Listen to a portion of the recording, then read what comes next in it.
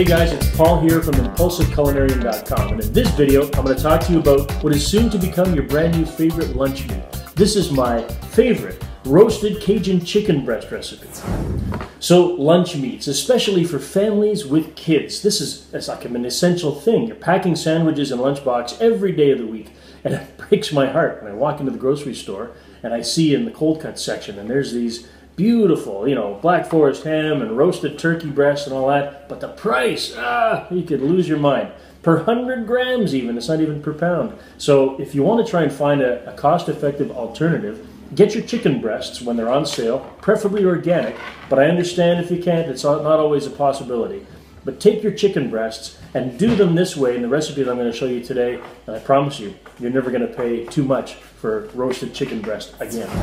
Okay, so here's what you need. The recipe that I'm going to show you today uses two large boneless chicken breasts, preferably organic if you can find.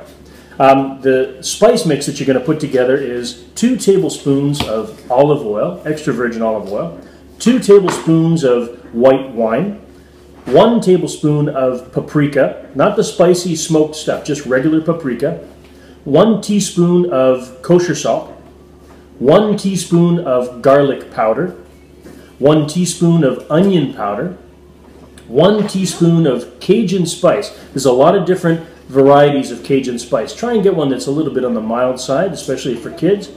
One teaspoon of sugar. Uh, we use golden cane sugar, but if you can tolerate uh, white refined sugar, that's fine. And a half a teaspoon of ground black pepper. Okay, let's go make some amazing chicken breasts roasted chicken breast day. Let's save some money, all right? So the first thing you want to do is preheat your oven to 375. Next, we're going to prepare our roasting dish. So get yourself any kind of baking dish. You can use a cookie sheet, you can use a roasting pan with sides, whatever you like. Something that's big enough to put two chicken breasts on. Next, you want to line your baking sheet with some tin foil. Doesn't have to be pretty. This is really just to protect the pan. so you don't have to clean it when you're done. Okay, just place in the bottom is fine. So when we're roasting these chicken breasts, we want them to cook all around, even from the bottom, without having the chicken breasts touch the pan. So I use a cooling rack. So it just raises it up a little bit, like a quarter of an inch, uh, and that, just put it right on top of the baking sheet. So the main ingredient, of course, chicken breasts. Uh, I got a couple of organic chicken breasts here that I'm gonna trim off any excess fat and just clean them up, making sure they look nice.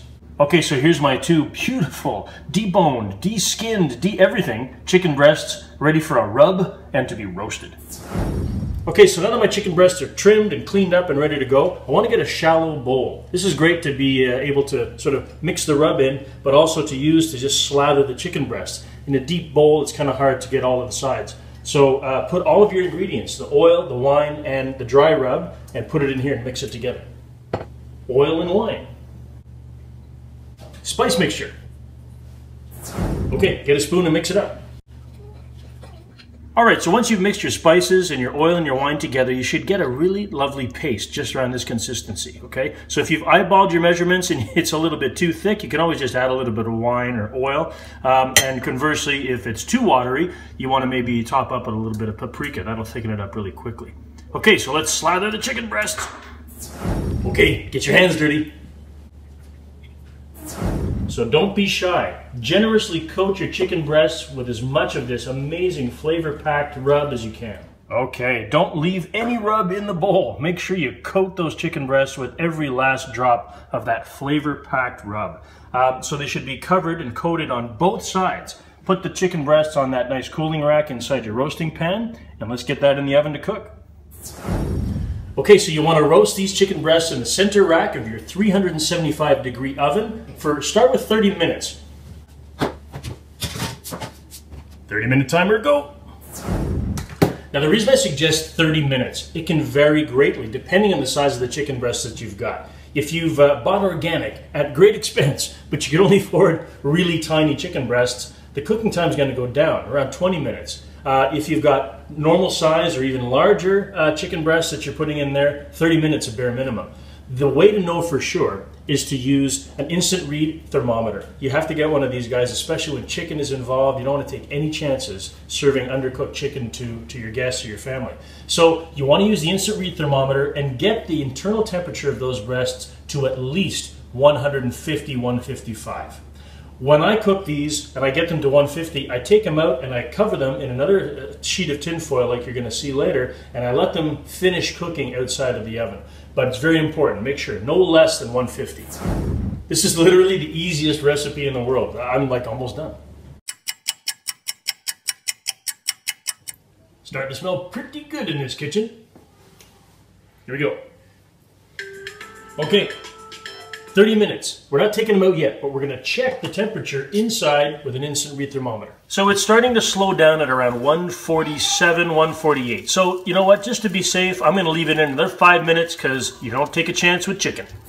Okay, so I'm gonna give it another five minutes just to be sure. Chicken, poultry, turkey, you don't wanna mess around. Never take a chance. You're not taking it out of the oven unless it's gotten to at least 150 degrees or more internal temperature. The goal is to let it rest underneath a tinfoil tent and still cook and stew in its juices for a little bit to get it, nudge it up to that 160. That's the magic temperature where it's safe to eat your chicken.